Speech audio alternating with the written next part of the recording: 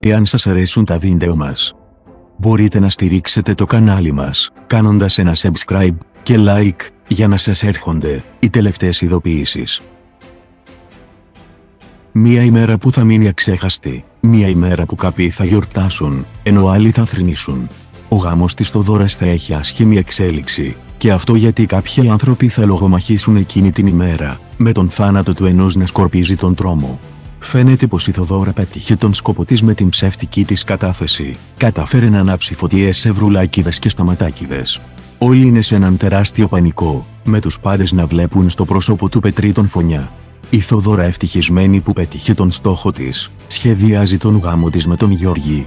Η μεγάλη μέρα έχει φτάσει, το νηφικό της είναι παραμυθένιο και η μέρα αυτή λαμπερή. Όλοι βρίσκονται στο σπίτι της Θοδόρας και δίνουν τις ευχές τους. Το γλέντι ξεκινάει και όλοι χορεύουν, γιορτάζουν το χαρμόσυνο αυτό γεγονός. Μέχρι μια είδηση να σκάσει σαν βόμβα στα αυτιά των καλεσμένων. Ο Πέτρος Βρουλάκης είναι νεκρός, από τα χέρια του Αστέρι, οι δυο τους είχαν έναν άγριο διάλογο και τα όπλα δεν αργήσαν να βγουν. Δύο πυροβολισμοί ήταν αρκετοί για να βρεθεί ο Πετρής στο χώμα, ακαριέα νεκρός.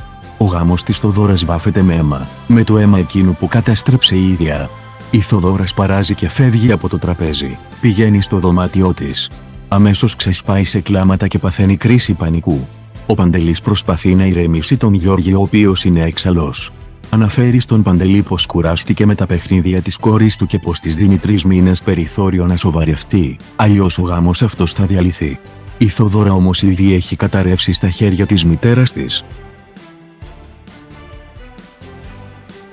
Φίλες και φίλοι, τα λέμε στο επόμενο βίντεο.